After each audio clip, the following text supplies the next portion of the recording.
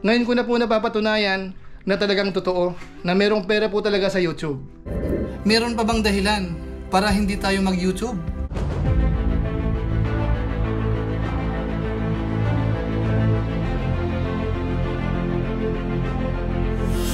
Ayun, what's up guys? Muli, welcome to my YouTube channel. Ito si Kuya Julay, ang inyong katugang, ang inyong kalingap. Na muling bumabati sa inyo ng magandang magandang araw, magandang gabi. Saan lugar man po tayo ng mundo naroon. At sa araw na ito, meron ba akong panibagong vlog? At ito naman ay medyo kakaiba. Dahil sa inyong kaalaman, si Kuya Julay po sa ngayon ay masayang masaya bilang isa sa mga YouTuber. Pero alam nyo ba, na nung araw, meron pa akong ginawa nga tutorials. Ngayon, gusto ko pong i-share sa inyo yon dahil sa ngayon, parang napatunayan natin na maganda po pala yung maging isang ah, YouTuber. Lahat ng paraan, mga tips, pag-uusapan po natin maya-maya ng konti. Pero bago yon, magpapaalala muna si Kuya July, baka meron pa po ditong hindi nakasubscribe sa ating YouTube channel. Huwag po natin kalimutan. I-subscribe natin para madagdagan pa yung bilang ng ating mga subscribers. Maraming maraming salamat po sa inyo. Dalawin niyo po ang kanyang uh, official YouTube channel po, July Paunil. Yun, uh, supportahan ninyo ang channel ni July Paunil. Tapos, baka sakaling meron pa po ditong hindi nakasubscribe sa YouTube channel ni Kuya Val Santos Matubang, ni Kalinga Prab, ni Ate Edna Vlogs, at saka ni Japper Sniper. Isama po natin sila. Maraming maraming salamat po sa inyo. Ngayon, tuloy na po tayo. Pag-usapan na po natin yung patungkol po sa pagiging YouTuber. Paano nga ba? Paano nga ba mag-start? Paano gumawa ng YouTube channel? At paano po patakbuhin ang ating mga channel? Alam niyo po kasi hanggang ngayon, marami pa rin mga nagtatanong sa atin, mga nagme-message. So ang gagawin po natin, ipapakita ko po sa inyo yung full tutorial. Yung pinaka-basic po dahil napakahalaga po nito. Dahil yung iba sa atin, minsan kapag ah, hindi na napasama doon sa isang grupo, minsan nawawalan na po ng gana. Pero alam niyo po ba, na ang YouTube channel ng bawat isa, tayo po ang nagpapatakbo nun. Kung sakasakali man pong ma-promote tayo o kaya mapabilang tayo sa ilang grupo na mga medyo sikat, malaking tulong po yon. Pero ang magtutuloy po nun, yung may-ari mismo ng channel. Ibig sabihin, tayo po mismo ang gagawa kung papaano po natin papalakihin ang ating YouTube channel. Ngayon, puntahan na po natin yung pinaka-basic tutorials mong ginawa ni Kuya July. Ito po yun. Uh, umpisa na kaagad natin. Meron lang dalawang ah, basic requirement yan. Kailangan lang meron tayong ah, email address. Po pwedeng ah, Yahoo Mail, Gmail. Pero mas nire-recommend ko yung Gmail. Kasi gagamitin din natin yan sa AdSense. Okay? Pangalawa, kailangan lang meron tayong gadget. Po pwedeng cellphone, po pwedeng laptop, or po pwedeng computer. Ngayon, isi-share ko muna sa inyo kung paano gumawa ng ah, Gmail account. Punta lang tayo sa Gmail sign up or sa YouTube para direct sign in na sa YouTube account. Pareho lang naman yan. Tapos press natin yung ah, create account. Press yung ah, for myself. Tapos name. Sa name dapat yung madaling tandaan. Tapos uh, press Gmail account. Tapos password. Yung password dapat 8 characters with mix of letters, numbers, and symbols. Tapos confirm. Tapos next. Ah, yung phone number at saka yung recovery mail, optional lang yan. Ah, punta na tayo dun sa birthday. Tapos yung gender.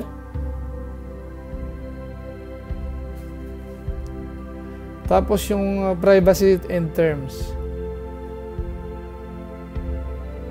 Press agree. So ayan. Ngayon, ituturo ko naman sa inyo kung paano gumawa ng YouTube channel.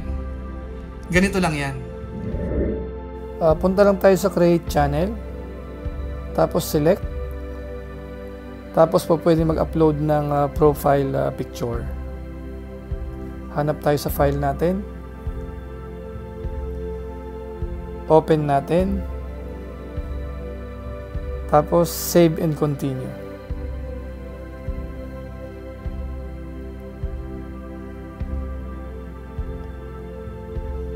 Ayan, meron tayong profile picture. Ngayon po pwede natin i-customize yan. Uh, press natin yung add channel art. Tapos po pwedeng mag-upload ng photo. O kaya meron din available sa gallery dyan. Press yung gallery. Select.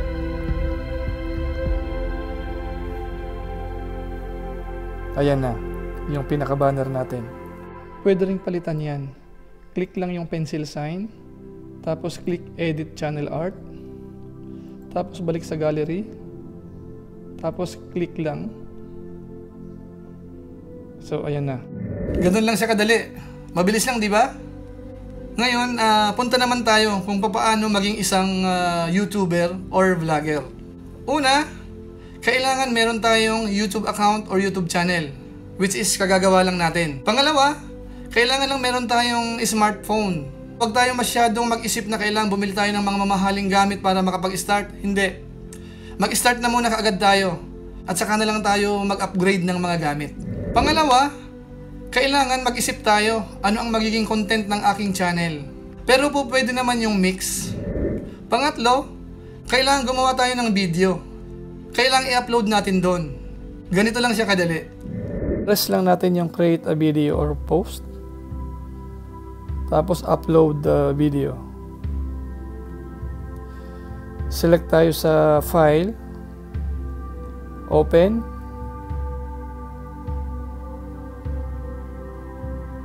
Tapos yung title. Press natin yung not made for kids. Tapos sa visibility, pwedeng private, unlisted, and public. So press natin yung public. Tapos publish.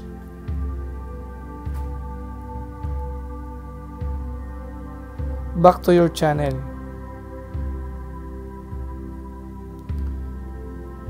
Yan po pwede nating i-test.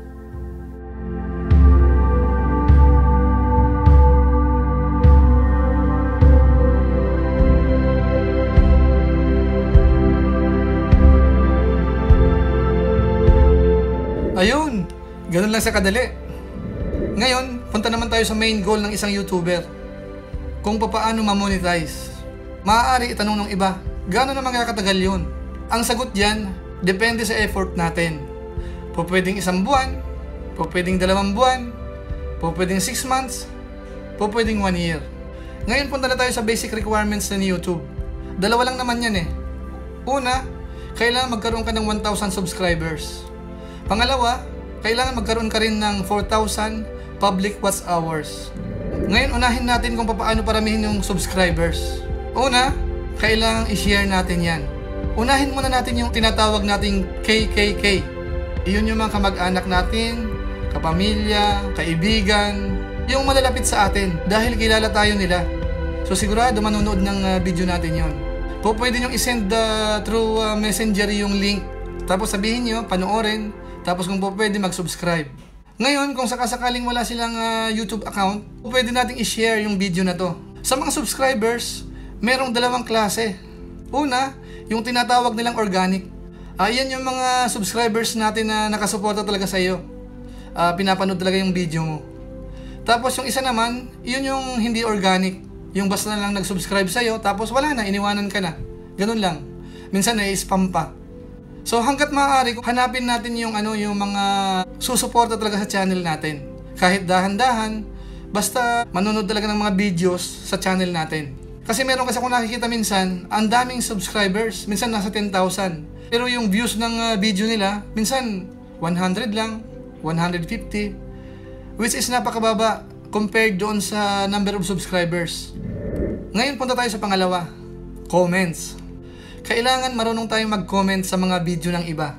Kasi kapag maganda ang comment natin, pupunta rin yan sa channel natin. Hindi lang yung may-ari ng channel nakakabasa noon, pati yung ibang nagko-comment doon, mababasa. So po pwedeng pumunta rin yan sa channel natin. Ngayon punta naman tayo sa pangatlo. Ito yung pinakamabilis para magpadami ng subscribers. Pupunta lang tayo sa mga nagla-live streaming. Makiki-join tayo doon, makiki-shoutout tayo, magko-comment tayo doon. Kasi karamihan na nandoon, mga naghahanap din ng mga kaibigan. Magpapalitan kayo. Kaso nga lang ang problema, karamihan sa mga nakukuha natin sa ganyan ay hindi ganun ka-organic. Although hindi naman lahat. Siyempre meron din dyan na talagang ano, solid din. talagang sumusuporta sa channel natin. Karamihan dyan hindi natin kakilala. Ngayon, punta naman tayo sa pang-apat. Ah, ito naman yung tinatawag na super chat, live streaming din. Ngayon po pwede kang mag-sponsor o kaya mag-donate. Ngayon pagka nag-donate ka, lalabas yan doon sa comment na naka-highlight. So kitang-kita nila yan. Ah, ipopromote ka. Sasabihin sa mga nandoon na paki-suportahan naman ito. So yun naman yung kapalit na makukuha natin. Ngayon punta tayo sa pang-anim. Pagpapapromote tayo dun sa mas kilalang YouTuber o mga sikat na vlogger. Once na i-promote yung channel mo, maraming magsusubscribe sa atin. Ngayon punta na tayo kung paano naman na makukuha yung 4,000 public watch hours. Una, kailangan mag-upload tayo ng maraming video sa channel natin. Ingat lang tayo dun sa mga bawal ni YouTube, kaya kailangan basahin natin yung guidelines. Nandyan naman po yan. Available yan din sa YouTube. Pangalawa, kailangan i-share natin sa social media. Kasi sa Facebook marami tayong friends. So gamitin natin yon para marating yung mga kaibigan natin. Pangatlo, po pwede tayo mag-live stream. Mabilis din makakuha ng uh, watch hour dito. Pero siyempre, ito ang advice ko. Huwag naman puro LS yung laman ng uh, YouTube channel natin. Mas maganda kasi ang impression kung may mga video talaga tayong ginagawa bukod sa live streaming. So, ganun lang sa kadali. Pero bago ako magtapos, meron pa akong pahabol. Ano naman ang advantages sa isang YouTuber o isang vlogger? Una, isa yan sa magiging libangan natin. Lalo kung mag-isa ka lang, o FW ka, malalaman mo kung paano makipag-usap sa camera or sa cellphone mo. Okay? Malilibang tayo dyan. Pangalawa, dadami yung kaibigan natin sa YouTube. Pangatlo, kapag lumaki na yung channel natin at meron tayong business, po pwede tayong mag-promote. Pang-apat, magkakaroon tayo ng pagkakataon na ma-share yung talent natin. Yung abilidad natin. Malay natin doon sa mga medyo artistahin dyan, matuklasan kayo. So hindi natin alam.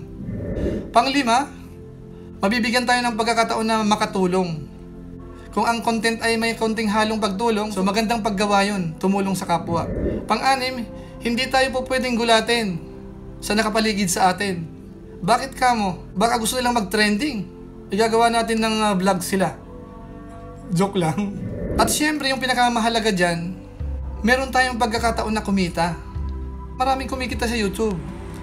Gaya ni na Tulpo, Gonzaga, milyon-milyon yung kinikita niyang buwan-buwan. So sa ating mga small-time YouTubers, uh, medyo malit muna yan sa umpisa. So kaya kailangan palaguin natin ang palaguin. Ang mindsetting lang natin dyan, huwag mo nang masyadong mataas para hindi naman tayo ma-depress. Ngayon, kung biglang tumaas, di salamat. Tapos ito yung pangwalo. Kasi bilang isang YouTuber, kahit lolo na tayo, di magbablog din tayo, pang lolo naman ang ibablog natin. Ngayon, syempre darating ang panahon na magpapahinga din tayo. Kung sakaling dumating na yung panahon na pinapagpahinga na tayo, po pwede natin magamit yung YouTube channel natin. Kuha lang tayo ng malaking screen, ilagay natin sa lamay, at i-play natin lahat ng video natin sa YouTube channel natin. Mas maganda pa yun kaysa sa St. Peter. So dito makakatipid na tayo. Joke lang. Pero po pwedeng gawin. Yung iba kasi kapag ang pag-uusapan ay tungkol sa kamatayan, ay ayaw nila. Pero hindi natin may iwasan yan. Actually, nakasulat yan doon sa awit uh, 90 Gs. Ang kaarawan ng aming mga taon ay umaabot ng 70 years. At kung dahil sa kalakasan, umaabot ng 80 years. Although yung iba umaabot ng 100. Pero kung mapapansin natin, pagka masyadong matanda na, nahihirapan na rin sila eh, lalo kung may mga sakit-sakit na. Di ba? Meron pa bang dahilan para hindi tayo mag-YouTube? Karamihan sa atin nakatutok sa computer. Nagbabrowse lang tayo ng Facebook, ng YouTube. Nauubos yung oras natin. Bakit hindi natin gamitin sa pag-YouTube? Kapag lumago yung channel natin, po pwede tayong kumita. Mag-uumpisa sa maliit at po pwedeng lumaki. So yan ay depende sa effort natin.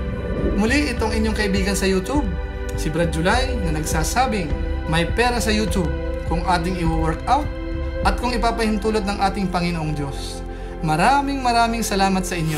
So ayun po mga katugang mga kalingap, napanood po natin. Siguro naman napakalinaw na po noon. So ang masasabi ko lang po, yung mga binanggit ko po dyan, ay parang napatunayan ko na po sa ngayon. Dahil ang status po ng ating YouTube sa ngayon, sa awa at tulong ng Diyos, medyo maayos-ayos naman po. Bagamat hindi pa naman ganun kalaki. Pero nakikita natin, marami na rin pong sumusuporta sa atin, marami na tayong mga viewers. Kaya ang masasabi ko, maraming maraming salamat po sa inyong lahat. lalo na po yung mga hindi nag skip po ng ads. Eh, ang may papayo ko lang po sa ating mga kasamahan, sana gumawa po tayo ng mga magagandang content. I-check po natin yung analytics, kung ano po yung gusto ng mga viewers, yun po ang damihan natin. Dahil kung titingnan po natin, noong mga nag-uumpisa pa lang ako sa pag-YouTube, karamihan sa aking mga content ay pagluluto, buhay OFW, mga tutorials, at marami pang iba. Kaso nga lang, hindi po masyadong tinangkilik yun ng ating mga viewers. Kaya nagdagdag po tayo ng ah, content na kung saan mas nakilala po tayo sa paggawa ng mga reaction video. Bagamat siyempre, meron din po tayong mga personal vlog na kung saan ay nagugustuhan na rin po ng ating mga viewers. At dahil nasa ibang bansa po tayo, mas madali po sa atin ngayon ang paggawa ng reaction video. Pero kung sakasakaling nasa Pilipinas na tayo, siyempre dadamihan natin yung mga personal vlog. So abangan po natin yan mga katugang mga kalingap. So ang mahalaga ngayon, bilang YouTuber, ako po ay masaya. Walang pinagsisisihan. Yung mga binanggit ko po noon, ngayon ko na po napapatunayan na talagang totoo, na merong pera po talaga sa YouTube. So maraming maraming salamat po sa inyo. Siguro hanggang dito lang po muna tayo. Pero bago tayo tuloy magtapos, meron po akong isa shoutout. Baka naman po pwedeng suportahan ang ilan sa mga kasamahan ko po sa Koos. Ito po sila.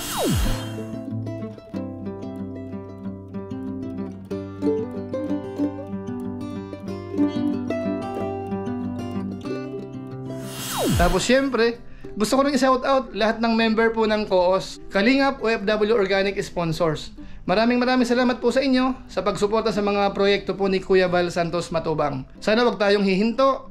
Tuloy-tuloy lang po tayo sa paggawa ng mabuti. Muli, ito po si Kuya July, ang inyong katugang na pansamantalang nagpapaalam po muna. Kita-kita na lang tayo sa mga susunod ko pang vlog. Maraming salamat sa inyong pagsubaybay sa aking YouTube channel.